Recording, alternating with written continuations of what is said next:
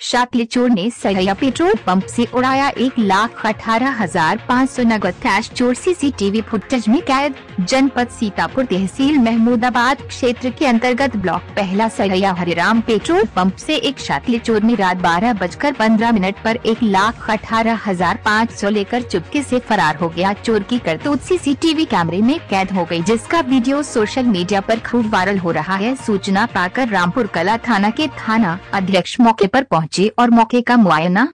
कर जाँच शुरू कर दी। पेट्रोल पंप के मैनेजर का कहना है कि जब वे अगले दिन कैश गिनने लगे तो उसमें एक लाख अठारह हज़ार पाँच सौ कई लोग तैर थे। फिर उन्होंने तुरंत पुलिस प्रशासन को सूचित किया। पुलिस जाँच पड़ताल में जुटी हुई है।